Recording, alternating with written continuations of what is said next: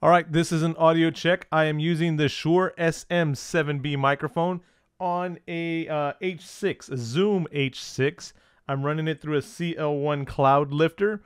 Uh, do have the 48 volts phantom power on, 44.1 kilohertz, and um, this is a test for Nix Swag. We've uh, been talking about this mic on the Facebook on the YouTube page and so I've got this set on about a four and a half, four and a half on the Zoom H6.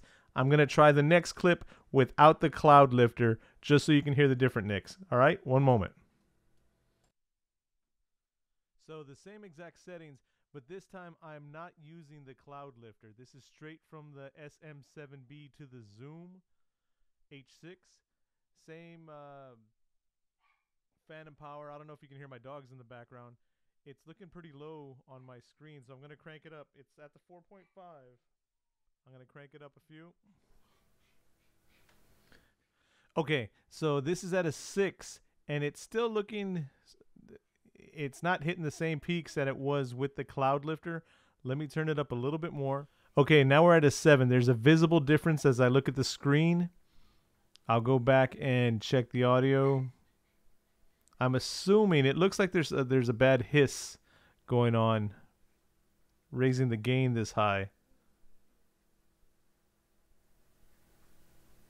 Okay, now it's at an eight, and um, I guess this concludes th this playback, this uh, test of the SM7B on the Zoom H6.